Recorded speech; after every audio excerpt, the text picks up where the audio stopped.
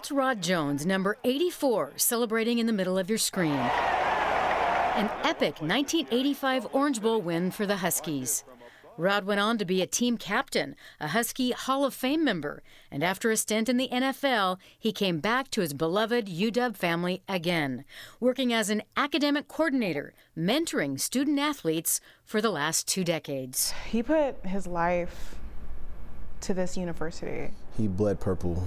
This week, two of Rod's three children sat down to talk with us. His son, Rod Jr., proudly wearing his dad's Letterman jacket, and daughter, Jamie, they said their dad was bigger than life in their family and to all the UW students he took under his wing. And like, yeah, do you know my dad? Yeah, I know your dad. And they're like, he's the coolest guy I've ever met. Thank you so much. You're so lucky to have a dad like that. His storied football years were great, but not what made Rod Jones a true Husky legend loved by so many. Remembered as a man as big as a mountain with the heart of an angel inside. He looked like he was big and scary, but we all knew he was the softest dude and the funniest dude, the, the nicest dude who would do anything for you. He'd, he'd give you the shirt off his back if he had to. But his family says behind that smile, in the last few years, Rod had become a different person. Mood swings, paranoia, anxiety attacks, depression, hallmark signs of CTE, chronic traumatic encephalopathy a brain condition associated with athletes, football players who've had repeated blows to the head. Then, two years ago, devastating news from their mom. She sat me down and said, uh, We went to the doctor, and the doctor said that daddy has signs of early onset dementia.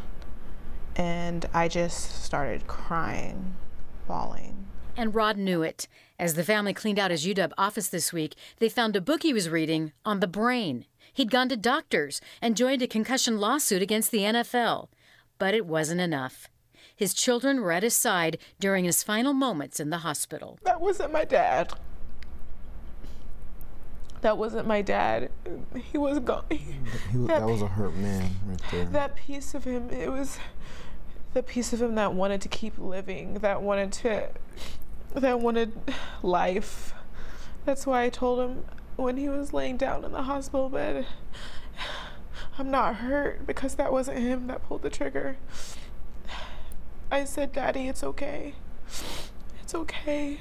Rod's family is urging the NFL to do more for people like him, a loyal family man, friend, and mentor beaten down by mental illness. I thought he was going to uh, walk me down the aisle and be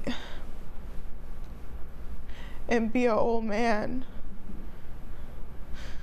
because that's who that's that's who that's who what he wanted but when the disease took over it wasn't him anymore that that piece of him was gone